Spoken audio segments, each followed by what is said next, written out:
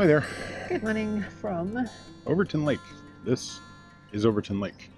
Sitting behind us. Glorious. Overton Lake. and under us. Yes. And we're beside the Ferry Meadows, um, well, campground visitor center. I'm not sure exactly. I don't think it's a campground, is it? I don't know if there's, I think there's a campground near here. Oh, it's like a country park. It's huge and it's quite wonderful. Yeah, and there is a um, steam train nearby, although we didn't see it in operation. And there's also a little mini train, isn't there? We saw Yeah. the track. Yeah.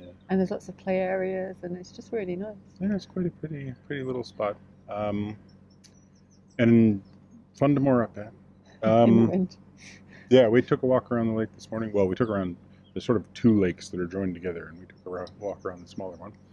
Um, yeah, it's really pretty. The moorings here are great. They're only 24 hours. I wish we could stay another day. Yeah, uh, it would be worth it for that. Also, good Wi-Fi. But um, turns out we're a multi-hour walk away from Peterborough because Jo had to go. I didn't have to to. It was deliberate. But the walk was fine because I've been doing these long walks anyway, and it was a good excuse for me to have a training walk. Trouble is, I didn't go until 10 to 5. Yeah, didn't time it quite correctly. So, yeah, so we're walking back, and then it was 7 o'clock, and it started getting dark. And the second half of the walk is all through the country park. So And it went like pitch dark. I was So, like, Michael, can you come and meet me? so I got George ready, and then we met a, a viewer who was calling to me from the side of the the lake. So I just heard this, Michael, Jo. open the window. Oh, hi, you know. Um, and he was just taking a run and happened to see us, and that was really nice. So thanks, you know, hi. Uh, it was nice to meet you, and uh, and he was nice enough to come along on a walk with me help find you, which was good because somebody had a light when I didn't. Um, yeah, and you found me, and it was pitch dark. It was, I did it was find not you. a good, good. However, I'm going to tell everybody else to make sure that they're signed into iCloud and that you actually have your um, find my friends or share my location I thing into enabled. trouble because I couldn't get it to work. Yeah, and a couple of text messages with, "Here's my Google Maps location," and each time it had a different Google path. I'm like, how am. I supposed to know which one? Yeah. well, it did. They had two, and one was blue, and then one was gone, and then you were on the other one, and I'm just like, I'm losing. Anyway, we found each other, so that's the main thing. And It's a miracle we found each other, but it was a miracle we found each other the first time. So That's true. Yeah. if we can find each other in the world, then we can find each other in a little country park somehow, in Peterborough. yes. Anyway, today we are heading west, upstream, towards Northampton eventually. Yeah, eventually. Um, we're not sure how we're gonna how far we're gonna make it today. We're just going to go until we've had enough. Yeah, we've had a couple of listings of where the moorings are on the way up there. Simon on Scholar Gypsy has sent us uh, a, a nice little roundup of which the best ones are and everything.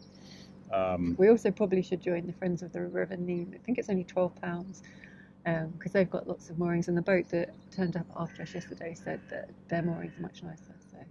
So, I'm See- happy to join them. I just don't know how. you can do it online. Okay, good. But um, you need to fill in a form, so we'll need to do it on the Apple where we can save it and overtype send it and and everything, do all right. that malarkey. Okay. So malarkey will be involved, but definitely worth doing. Right. Uh, we are about to be bombarded by a couple of moorhens, which seems okay. Never mind. A triple of moorhens. It, well, a a, triple. tru- of a truckle. it looked like they were in launch position. Instead, they veered off at the last second and stopped. So we're good. It's because you stared them out. You looked at them and you were like, "Don't you dare!" Yeah. Well, now I just made the mistake of eyeballing some seagulls on the top of that boat, and I think we're in for some attitude. Let's go. Yeah. So uh, out onto the lake that way, and then a whole bunch of locks. This is probably one of my favourite moorings now, and it was definitely worth the detour from the Nene. It's a shame you can only stay for 24 hours. On the other hand, it's good that boats can't stay longer, as that means there's more likely to be a free mooring available. It's about half a mile from the mooring pontoons back to the river, and most of it's across the open water. The lake also extends about half a mile in the other direction. Michael's desperate to go exploring on the boat, but it's not a good idea as there's a high chance we'd get stuck in the shallow water. From a distance, the exit channel is pretty well camouflaged, but it becomes more visible when you get closer. In conclusion, whether you arrive by river or road, we highly recommend a visit to Overton Lake.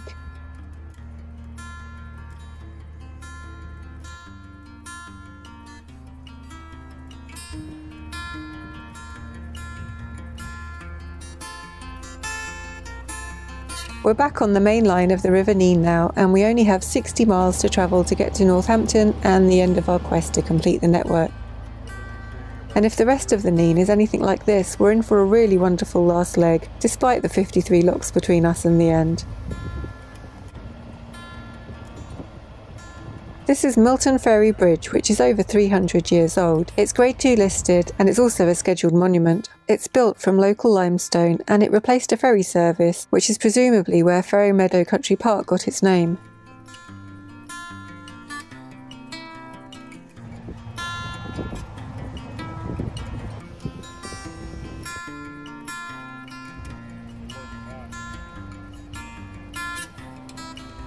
It's very reassuring when a bridge sign makes it undeniably clear which arch we should be travelling through.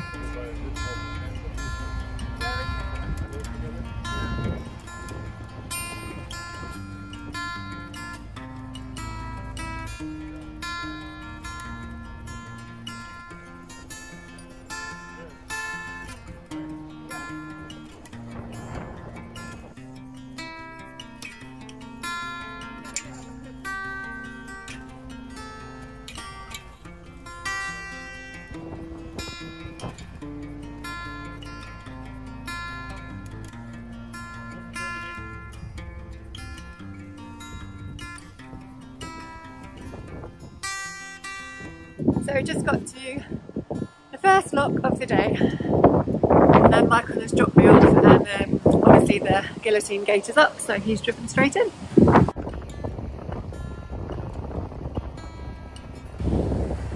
So the first job is lowering the guillotine gate.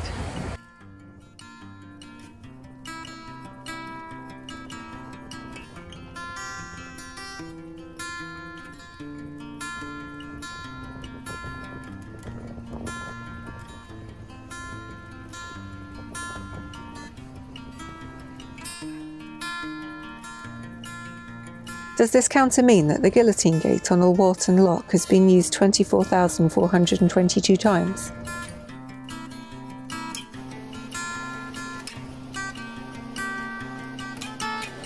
So about halfway up now and it's really lovely here. There's actually a mooring next to, right next to the lock. Um, so if we hadn't been only going for half an hour, I'd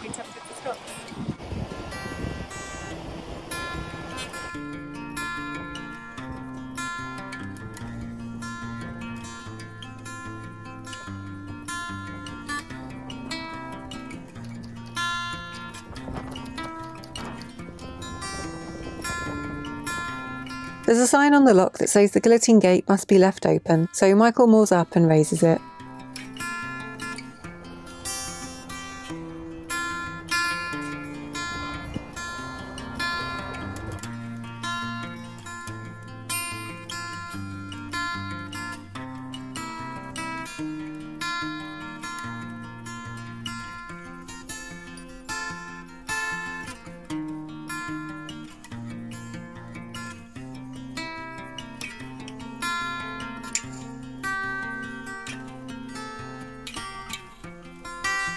Okay, that's good. Only 52 locks to go now.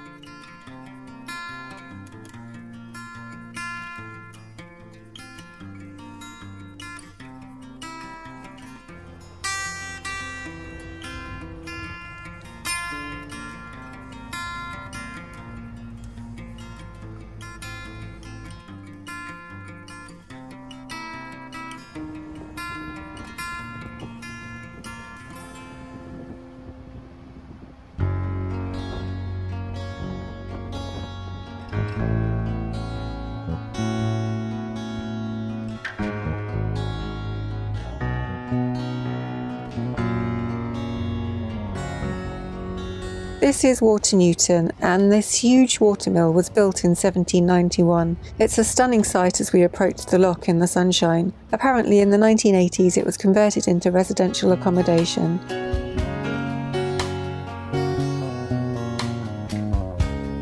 As you can see, there's quite a lot of water at Water Newton Lock. In fact, it's flooding over the lock gates as we arrive.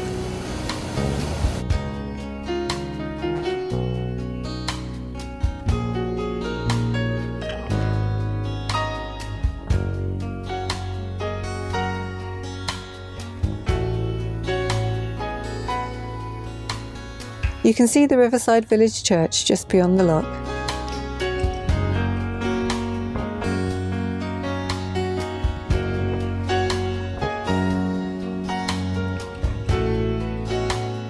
Eventually the water equalises and we can open the gates. It's looking like all of the locks need to have their guillotine gates left up, so Michael moors up again.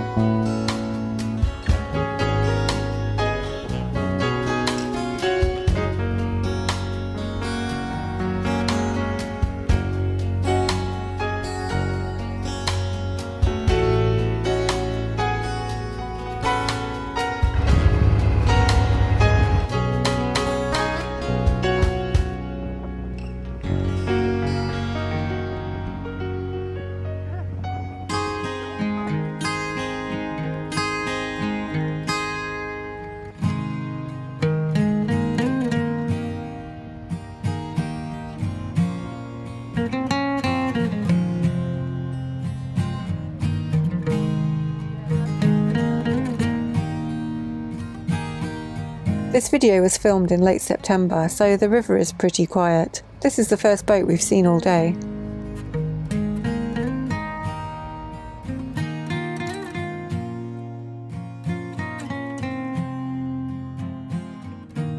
Cable crossing the river came as a bit of a surprise. We've asked around and we think the most likely reason for it being here is to enable a floating boom to be deployed if there was ever a pollution incident, as it's just upstream of a drinking water supply abstraction point, so that would make sense.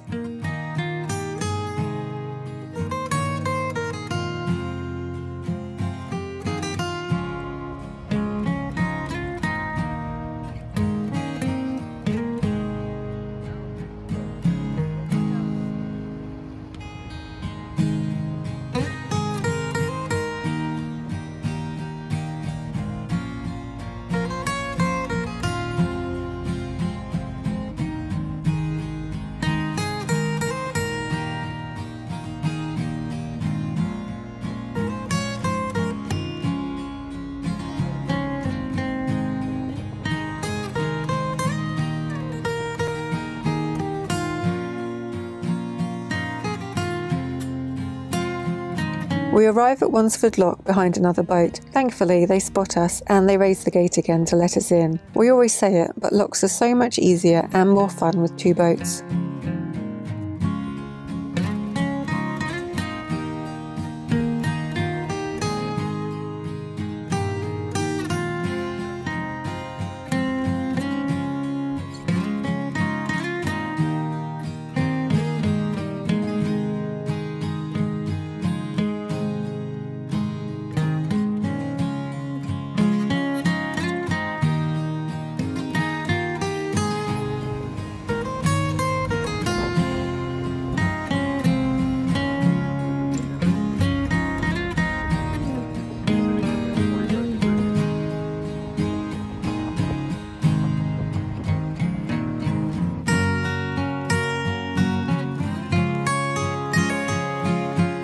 ended up walking between, well, kind of half running between the last two docks.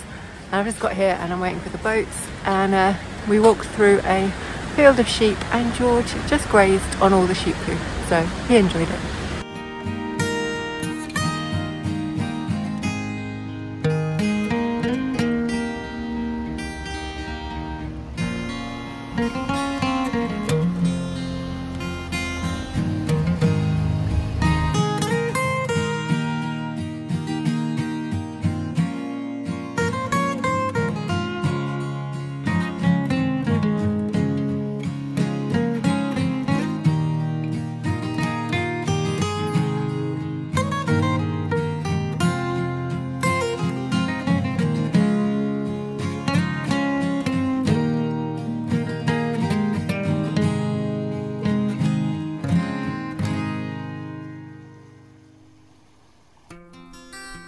The other boaters said they'll stay behind and raise the guillotine gate again, so we go ahead and we'll wait at the next lock.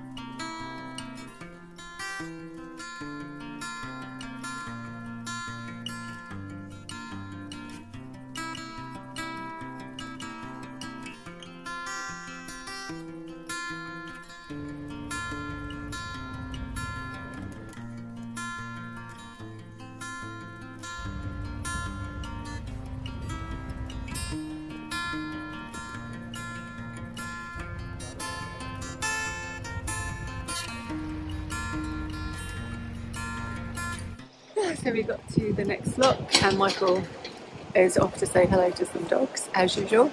Um, and we're just waiting for the next boat, and it's quite lovely here. There's a big old barn or mill building there, and behind the lock is field of cows.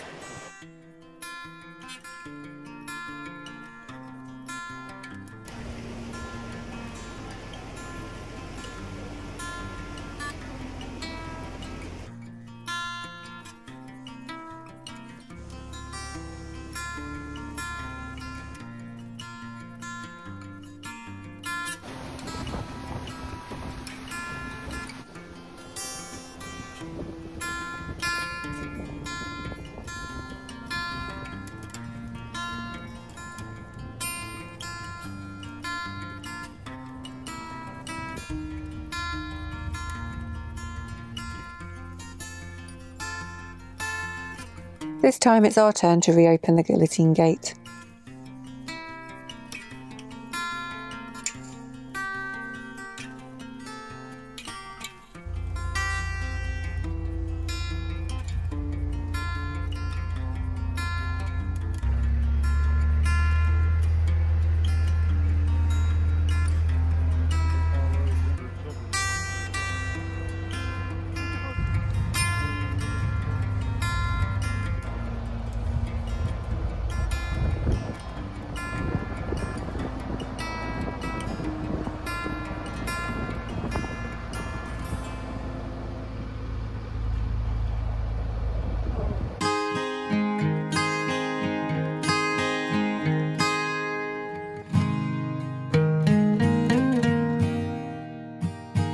Most of the guillotine gates on the River Nene are operated electronically as you've seen. This is the first one that we've come across that is manually raised and lowered using this huge reel. Lowering the gate isn't too taxing as gravity is on your side, but raising the gate takes a lot more effort.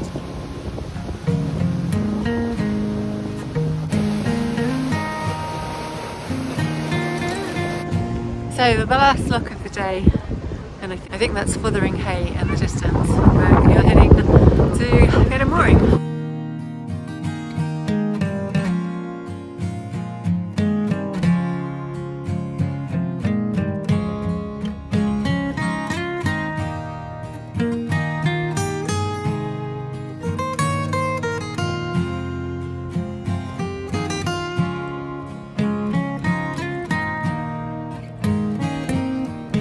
the bend and we get our first view of Fotheringhay Castle ahead.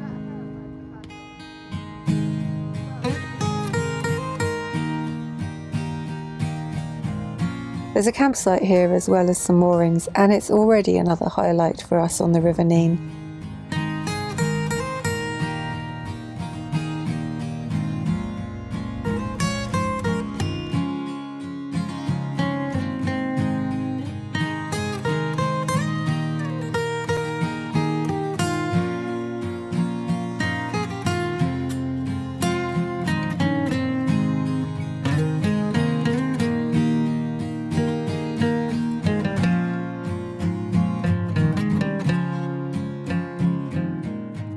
Hopefully you can hear us because it's quite windy, It is very, very, very, very blustery today. which made uh, going into some of the locks interesting. Yeah, I nearly lost the um, metal cap from our uh, chimney because a piece of, well, a couple of pieces of wood that we've had sitting up here for a while, innocuously doing nothing, decided to blow sideways and hit the stainless steel cover that we have in place to uh, wind and rain, well, rain more than anything else, from getting down the chimney.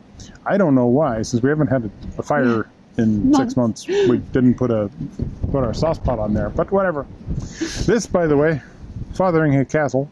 Very is- exciting to be moored right outside a castle. Yeah, where Richard III was born. And Mary, Queen of Scots, was ended. was was anti-born.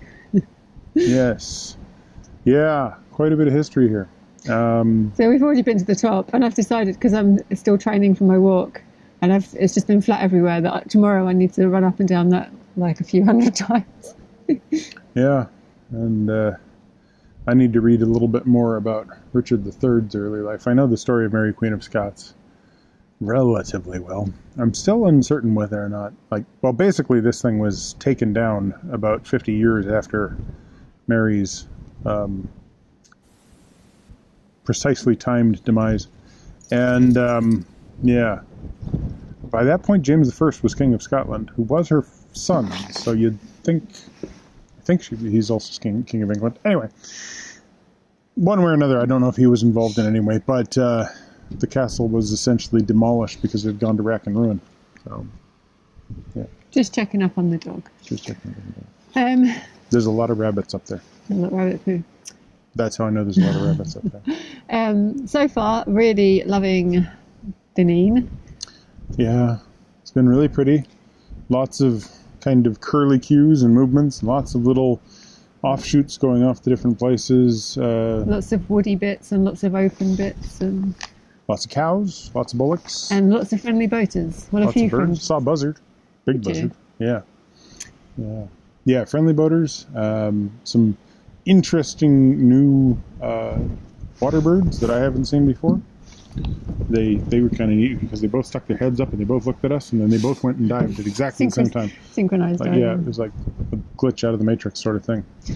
But um, But yeah. But anyway, let's. Uh, we might have two nights here. It's five pounds tomorrow on these moorings. Yes. I think it's worth every penny. and from what we were told, they show up before you actually get your mooring pins in. But our mooring pins are in, so we're gonna wait and pay them when they arrive. Hopefully they're coming. Oh, George is George is wanting to play. He's doing what? He's like rolling around on his back. Oh well, that sounds cute. Where's? Oh, I don't think I can get enough out of the way. Where is he? He's, Oh. he's behind. There he is. Oh, he's not on his Well, he stopped rolling around. Yeah. Finished, George? Yeah.